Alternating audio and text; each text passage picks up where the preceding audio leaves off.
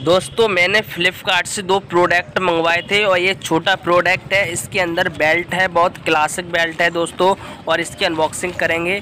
तो ये रखते हुए और इस ये बड़ा प्रोडक्ट है और इसके अंदर शूज़ हैं और ये रनिंग के लिए शूज़ हैं, बहुत क्लासिक दोस्तों तो इसकी भी अनबॉक्सिंग करेंगे।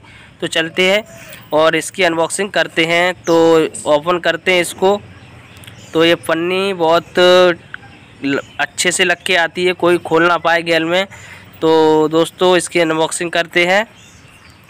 और ये देख सकते हो दोस्तों, ये इस ये डिब्बा है और ये देख सकते हो, ये रनिंग के लिए है।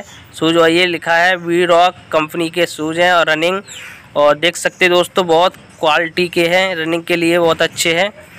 तो इसकी अनबॉक्सिंग करते हैं और इसके अंदर ब्लैक कलर है ब्लैक शूज़ हैं। तो दोस्तों, देख सकते हो और बहुत अच्छे हैं। और इसको फिनिशिंग भी बहुत अच्छी है, जैसे डिज़ाइन वगैरह बहुत अच्छी है, देख सकते दोस्तों। और ये वाइट फिनिशिंग कैसी लग रही है, देख सकते हो बहुत अच्छे से है, बहुत क्वालिटी की है।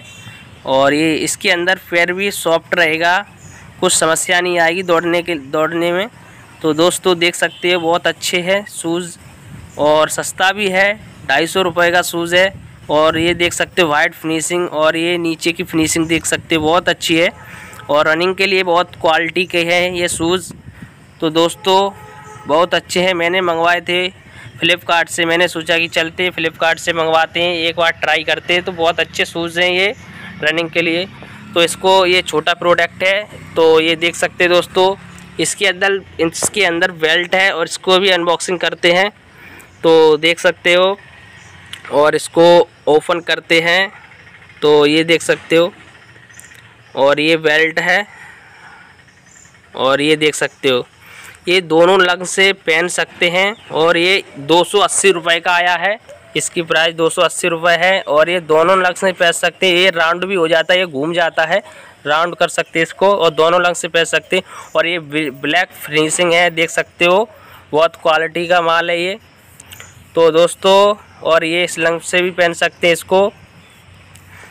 ये है वेल्ट। तो मैंने दो प्रोडक्ट फ़्लिपकार्ट से मंगवाए थे तो बहुत अच्छे प्रोडक्ट हैं ये। और इसके अंदर कुछ ये लिफाफा भी है, और ये डिज़ाइन वगैरह कैसे क्या लगाना है, कैसे कसना है, इसके लिए ये है। तो दोस्तों, देख सकते हैं। तो चलते हैं दोस्तों, आज का ब्लॉग यहीं पर समाप्त करते हैं। Okay bye bye